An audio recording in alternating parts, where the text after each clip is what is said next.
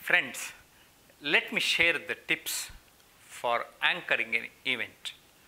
First impression is the best impression. Your dress should suit to the occasion. Smile improves your face value. Prepare well to present well. Do check your microphone properly. Understand the audience background. Opening remarks should highlight the program.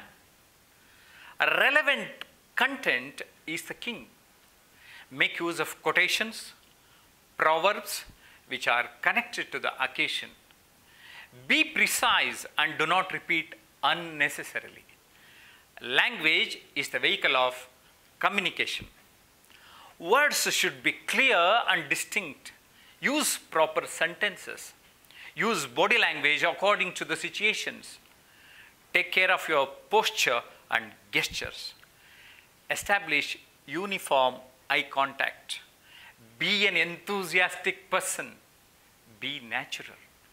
Voice is the boss of speech. Modulation is the key for attraction. Use your own tone. Have presence of mind.